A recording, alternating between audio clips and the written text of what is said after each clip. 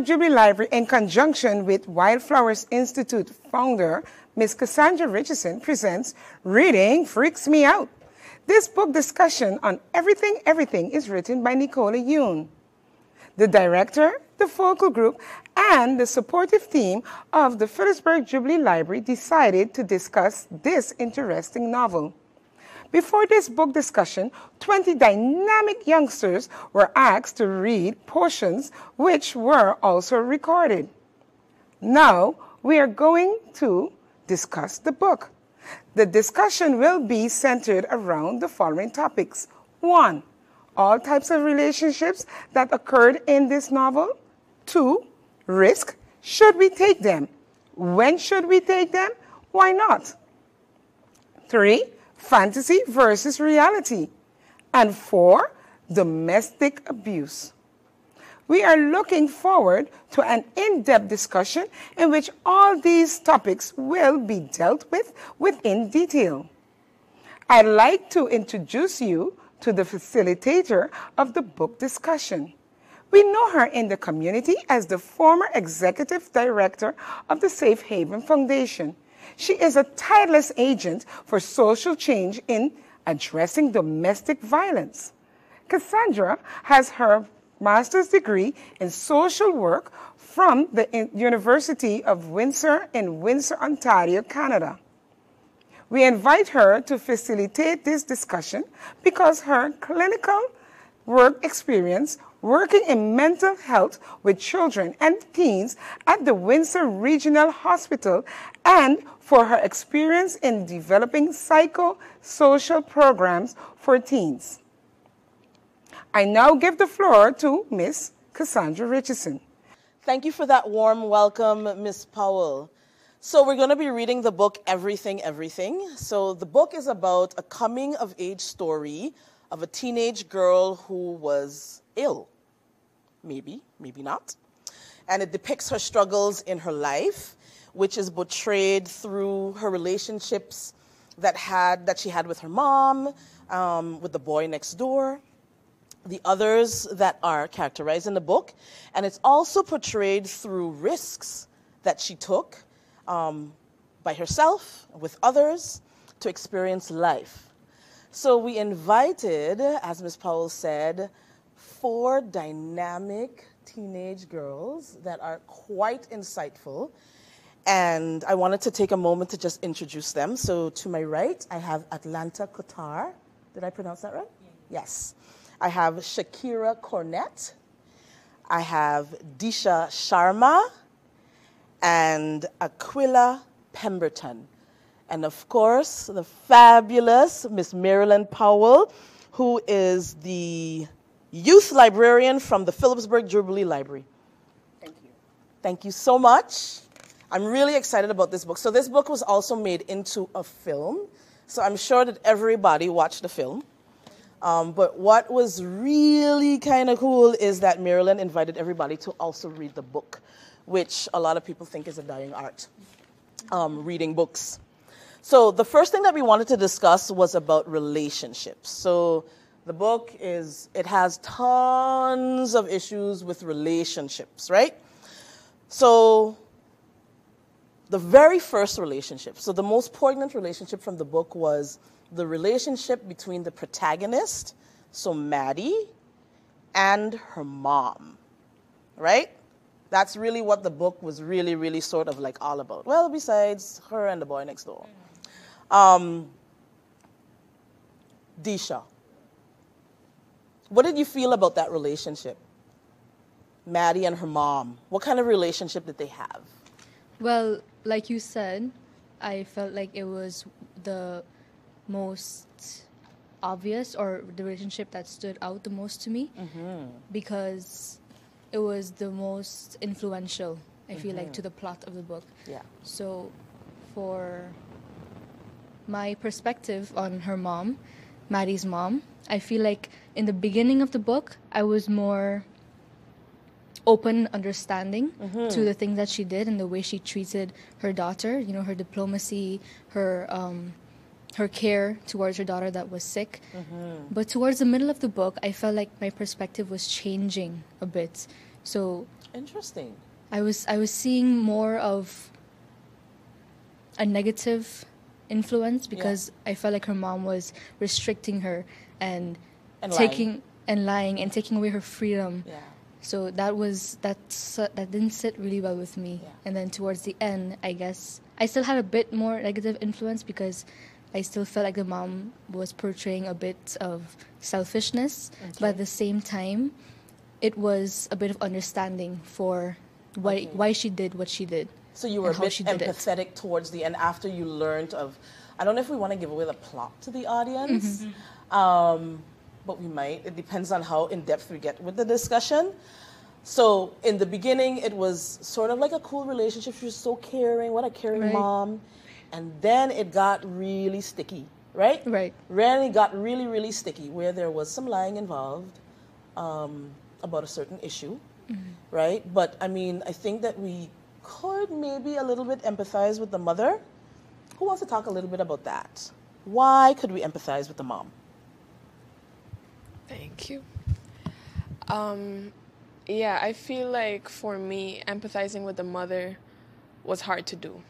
Okay. Oh, all right. It was very. There you go. It was yes, um, mainly because if you were to put somebody um, in the situation that she put her daughter in, Mm-hmm. the kind of trauma that was birthed from that, I just feel like I I can't show you any mercy.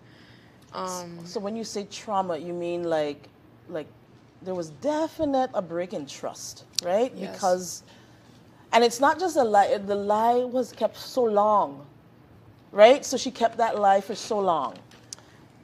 But why? Why did she keep the lie for so? So, the, so you didn't feel any empathy towards the mom at all for the reason why she kept it? okay. I'm really trying, right? Because I know it's a tough. It was, it was, it was kind of tough to swallow because she missed out on a lot. Mm-hmm. I um the only reason why I feel like I can have any bit of empathy for the mom is because I feel like it was a lie, but it's not a lie that was like directly affecting her daughter. It was more so an internal lie. She wasn't honest with herself, Ah. and for that reason, um, she you know um, impacted her daughter's life, and I feel like for that reason, I can um, I can show her some empathy Okay. but it's tough. Okay. Because she didn't have insight. Because she was. Re- it was a selfish. It was extremely. Yeah. extremely It was selfish. extremely selfish. Okay. Anybody want to say anything about that? Before, I, before you continue. Okay. The reason um, that I feel like I empathized in the end was because for me, I felt like she lied so long, the mother lied so long, that even she herself started to believe that lie Okay. and started to think that she justified whatever she did because she Okay. believed that her daughter was really sick. So her reality was kind of distorted after a while Right. because the lie, the lie took so long. Mm-hmm. Okay. All right. But um. Yeah. Go ahead. Okay, so I think I could like empathize with her because Empathize with the mom. yeah, Okay. Because she I don't want to give out any spoilers like you said, but Right. she lost who If she you, lost. if you need to go there, just go there. she lost who she lost. So yeah, she lost her her son, she lost her husband all at the same time. So if if I was her, I don't I don't know what I would do, but I understand what she did because she didn't want to lose somebody else. So Right. Towards the end of the book, which by the mother at a given point um, needed to go to a psychologist to um, decipher what took place within her life. Didn't we realize at the point that it wasn't really a lie? It was that um, she was suffering and she was ill, that she was suffering from a mental illness that was caused, uh, triggered based on what took place with the loss of her children. What do you all think about that? And her husband. So that she was really traumatized because of the loss of her her son and her husband, which she lost in a car accident, and in order to protect her even more because the trauma she experienced, she started making up these stories um, about about the The, the Sid. yeah about the, the girl yeah. Because um, she was suffering from a disease, which most likely was Munchausen disease. So if she was projected, projecting it over to her daughter, is because she was ill. She was suffering from a mental illness at that point. Not because you're educated doesn't mean to say, because in the book she's a doctor, but that doesn't mean to say that um, she wasn't putting a protective mechanism around her to protect herself. So, in, in my opinion, I do not believe the mother was telling a lie. I believe she was protecting herself. Could it be both? What do you Yeah. think? Could it could it be both? Because, I mean, in the professional community, like as um, like as a doctor, it's not um, encouraged. Actually, it's kind of looked down upon if you practice on your own child, right? Because you have to sort of have that distance, right? So that it's unbiased. But somehow, some way, that didn't happen in the book. I don't know. I don't even know how it came to be that she was even allowed to treat her daughter, right? In the book, I think I don't think that the that the um, the writer Miss Yoon thought about that really clearly. I think, right? Um, but at some point, uh, it needed to be confronted, right? So whether it was a lie or whether she was going through trauma, could we totally not um, give the mom total responsibility that it was a lie? Maybe it was maybe it was a little bit of both, right? Yeah, you think that it was that it was a little bit of both? I think it wasn't. Okay, Um, you're really having a hard time with this mother. Okay, all right, okay, okay. um, okay, so I understand intention and action. Yeah, Her intention was to protect herself, and she did so by um, keeping her daughter caged in. Yeah. Um, and I feel like she should be held responsible, totally responsible, for how her daughter turns out. okay. um, up until the point where the daughter can um, like access um, psychiatrists or psychologists. So all that money she's going to have to be paying on, on a mental health care professional for years to come because her mother lied to her or was traumatized. It was a lie. I, I I'm not Okay, okay. I'm not saying that she lied to her daughter. I'm saying she lied to herself. Self. Okay. She didn't address it. Yeah. And she didn't address it as a professional Yes, and wh- in the healthcare profession. What you were saying about um, you don't understand how she would have been able to practice on her own daughter. Yeah. Um, I feel like once she went to the doctor when um, Maddie was like six months or something like that, um, and then the doctor gave her, okay, well these are possible um, the possibilities. Yeah. I feel like she took it upon herself to say, okay, it's SCID, because that's that would have automatically made it easier for her to keep her daughter locked away. And since no one else really knew about her daughter, I feel like that was easier for her to um, To do. So yeah. she could have gotten away with it. So she let her fear like really overtake her decisions, completely. which we're going to talk about in risks. Okay. Yes. I mean, everyone spoke about um, the mother, which are facts. Yeah. That she she plain out lied Okay. all of her daughter's life, and she she was being selfish. She didn't care about her daughter's mental state or her emotional attachment towards her daughter. She just cared about her physical well-being, and that's where she completely went wrong. Even so being the case, if you have an issue with yourself and you're trying to protect your daughter, you must protect yourself first. You must figure out what is wrong with you first before you look upon your child. So that's what I was looking at it as. Okay. All right. So we're not giving the mom any love, not much. Okay. All right. You give her some. You gave her some. Disha gave her some. Miss Powell gave her some. And and to add on to what you said about her mom diagnosing her in an emotional way, I think it also has to do with, in a sense, professional way as well. Because I read about medical professionals tending to think about the worst case scenario or mm-hmm. thinking that what they see would have the worst effects. So I think that can also play a role into her diagnosing her daughter saying she has SCID because a lot of medical professionals they're faced with a wide range of um, deficiencies and diseases, etc. So they tend to think The worst. the worst of the scenario. So I think that could play a role into it. All right. One more tick from mom. How about the relationship between Maddie and the caretaker, the nurse, Carla? What did we think about that relationship? Love it? Hate it? What did we think? Okay, so the relationship between Ooh, yeah. yeah, the relationship between Maddie and the nurse, I loved it Yeah. because Maddie was, as she said, Maddie and her mother didn't really had a good relationship. Okay. At the end, it became negative because you know she found out she lied everything. But with the nurse, the nurse was her friend. The nurse was always there for. The nurse was like her second mom, Mm-hmm. well, like her first mom to be exact. But it was Or her all the good mom. qualities Yeah. that we would want, Want in out of a mom. Okay. She was a mom. She was a friend. She was a best friend. She was a caretaker. She was everything Yeah. that the girl needed to stay sane. inside Carla the is getting a lot of love. Carla was the best. I love Carla. And then when she, like she had to go visit her, how she was so happy to see her. I had, I had loved that. Yeah. But yeah. Go ahead, Shakira. I read a book. Um, I don't remember the name of the book, but Speak up. It had to do with the same relation that Carla had with Maddie. And this person didn't have no love from her mother because her mother was rich, um, a rich brat, and the mother didn't care for her, but the caretaker did.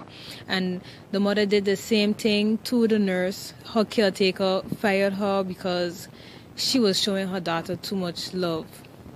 Well, when you put yourself in a predicament where you can't be a mother to your child, they're going to automatically cling on to somebody else who shows them something that you can't give. Mm-hmm. Because you can make a child, but you can't make a mother. And that is what the mother did. She just placed her daughter there and was expecting her to, you know, find find just find a bond with her mother, but her mother was not always there. And um, Carla, Carla, yeah. Carla, nurse, yeah. um, she had a she had a daughter too, Yep. but she she wasn't like Didn't have a good yeah good relationship with her mother with her daughter either. So she clinged on to Maddie. So that's why they had that potential bond to just be under one another, and that that's what I liked. Okay. So you don't necessarily always have to be biologically related. And I thought that that was, you know, that was interesting. Just for, you know, for people that also don't have kids, right? So could you also provide some sort of maternal, um, not instinct, but like values upon like another child, right? So I think that teachers do that often, social workers do that often in our community, where they also extend that, um, yeah, that maternal kindness to the children that um, that need it the most. So yeah, I, I was also very very much in love with Carla's and um, Maddie's relationship, um, and I think I took it very personal when Mother fired her. to tell you the truth. Bad. Yes, go ahead. I Carla and Maddie's relationship was so strong because Carla was there from almost the beginning Yeah. when Maddie was born. Yeah. So she um, was raised with her, and just like Shakira said, um, they had that bond because Carla didn't have it with her daughter Rosa, and she always um, wanted her daughter to be more like Maddie, right? And um, I feel like this is in general. I feel like um, some nurses tend to be second moms. Yeah. Yeah, Yeah. Carla, like she came from the outside, Yeah. and she saw the kind of life that um, Maddie had no choice but living. Yes. And at the end of the book, not to spoil anything, but um, Carla said that she always had a feeling something was off with the calculations that the mother um, gave her. We're daughter. giving yes. Yes. Yes. I feel like that's where um, Again, no points for the mom. none.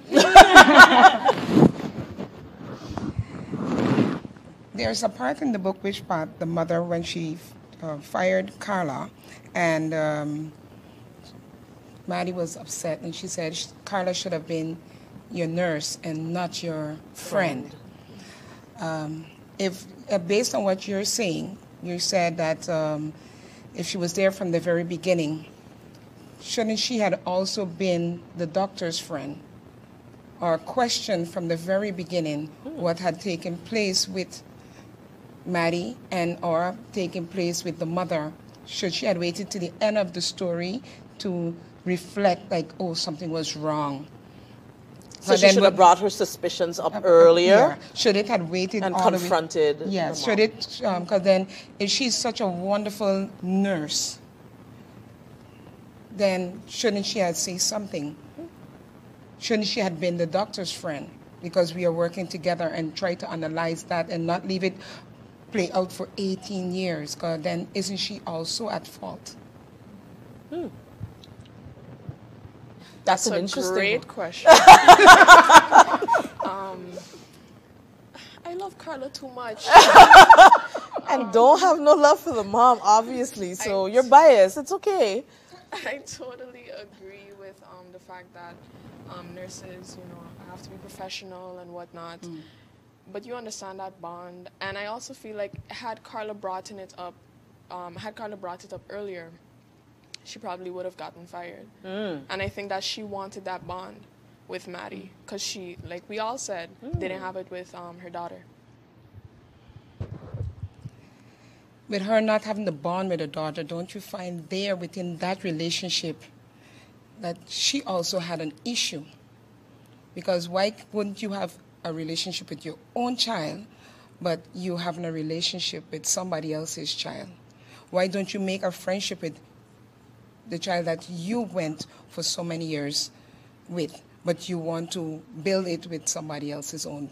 But you see in your daughter as soon as that's finished. Where do professions stop and where does, what's the word? Where do your Personal. home, your personal life stops? Where does the personal and the professional boundary? Yes, because after all, she had a she had a a relationship with her own daughter. I mean, it did not really come up Good in the book. bad or whatever. But then, Yeah. at least if you're um, based on what you're saying, there seems to be some kind of discrepancy there that we want to show so much love for Carla, in my opinion. In my opinion, the movie and the book is quite different. However, it's not really different. But in the movie, it showed why Carla didn't really have a relationship with her daughter based on how her daughter personality was. After a while, the daughter, you know, you know, we all hit puberty. We go into a phase where you just don't want to hear nothing from your mother no more. She probably was boy struck. She went on and did things in her life. So her mother probably found something in Maddie that the daughter did not have. Yes, she should be able to have a relationship with children, even if they're good or bad. But what she saw in Maddie for all of those years, her daughter couldn't give her the same emotional attachment that Maddie was giving to her. And same for Maddie, she couldn't find it in her mother either. So that's why she clinged on to Carla. Okay. Yeah, one more thing. Yeah, um, I totally understand what you're saying. I was just talking to somebody the other day, and how we spoke about nurses and teachers being and social workers Yeah. being those people who um, really impact children's lives. I know some teachers who have um, kids, and their kids never felt as loved Yeah. um, because those teachers showed attention um, to other their students. Yeah. Yeah. Yeah, and you and and again, like in the, in sort of like the understanding in in how parents attune to their children, right? So sometimes, yeah, they're your children and you love them, but sometimes you may have a hard time just attuning to them because your personalities are so different. Yeah. So, it reminds me of that adage. Um, quote, it takes a village, Yes. right? So it's not just really one person, but sometimes there might be an auntie or a social worker or a nurse or whatever that could attune better um, to to the child, right? And what a wonderful, beautiful. I, I mean, like I don't want to. I don't want to say anything negative about because that was a really great relationship that Carla and um, because it, it really helped her, right? It really helped her to take risks, which we will talk about very soon. Um, but it also it, it, it was also very good for Maddie um, because it, it, it, it strengthened her as mm-hmm. well. So imagine if we didn't have that relationship and it was just the mother, right? Or it was just the awful nurse that she hired after Carla. What would that look like? but I think that we could talk about it forever and ever, but we have to move on to the next topic. So, the next topic under relationships, I'd like to explore the relationship between the boy next door and his mom, or his whole family dynamics relationship, which I think that we could all agree was kind of toxic, right? So he in the book there was this poignant part in the book where he made this metaphor about it was like a family being like luggage on this carousel and characters being luggage. Um, I think that was on page 190. Miss Powell, would you like to take us there? The carousel. I've decided baggage, carousels, are a perfect metaphor for life, Ollie says. People are the luggage in this theory. Yes, go on. Sometimes you fall off prematurely. Sometimes you get so damaged by other pieces of luggage falling on your head that you don't really function anymore. Sometimes you get lost or forgotten and go around forever and ever. What about the ones that you get picked up?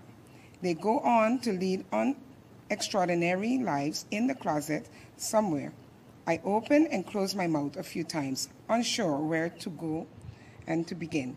He takes this as an agreement. See, it's flawless. His eyes are laughing at me. Flawless, I say, meaning him and not the theory. In your baggage theory, your mom is one of the baggage that gets damaged. He nods. And your hmm. sister, she's one of she's one of the ones that get lost, goes around and around forever. Hmm. He nods again. And you? Same as my sister. And your dad? He's the carousel. I shake my head. No, I say, and grab his hand. He doesn't get to have everything, Ollie. I've embarrassed him. He tugs his hand out of mine, moves a small distance away, and studies the terminal. Hmm. So he is basically just showing that how people relate to each other and it depends on how they're treated. They're treated like pieces of luggage. And she tries to pull him out of that dark space, right, by saying, like, because his father was really abusive to his mother and to him and to the rest of the family. Um, and his sister was lost, right? So his sister took on very, um, yeah, a lot of stress and, and, and started doing lots of not good behaviors for herself, right? She picked up smoking, she was really angry, he was really angry. And I think Maddie just reminded him that no, he doesn't get to have everything, right? He doesn't get to dictate how your life turns out. This was just sort of an experience in your life. We hope that you enjoyed our program, Reading Freaks Me Out. Join us for the next segment in the program. Thank you for listening and also viewing.